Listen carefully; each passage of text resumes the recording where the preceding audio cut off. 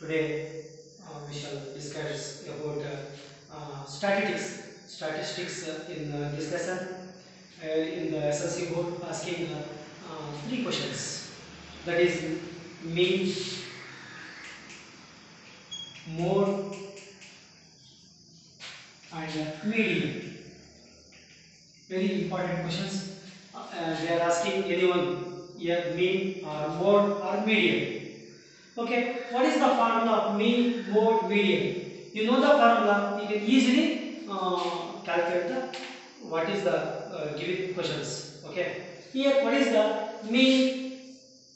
What is the formula of mean? Here in your, in your textbook there is three ways you can calculate the mean, but the easy method is direct method. That is mean is equal to formula MEA mean is equal to x bar is equal to sigma fx by n. By using this formula, we can you calculate the mean. Next, another one is mode. What is the formula of mode? Mode is equal to L plus F1 minus F0 by 2 F1 minus F0 minus F2 into H. This is the uh, formula for to finding the mode. Next, the third one is median.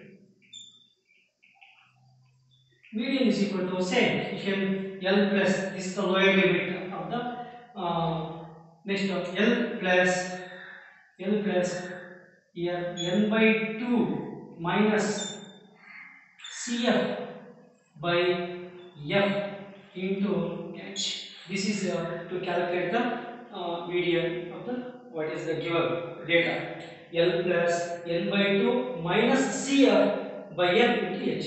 These are the three, three formulas to finding the mean, mode and median. Once again I will tell you what is the formula of mean. X bar is equal to sigma fx by n. Mode is equal to L plus see L plus F1 minus F0 divided by 2F1 minus F0 minus F2 into H. Next, what is the median? Formula for median is L plus N by 2 minus CF.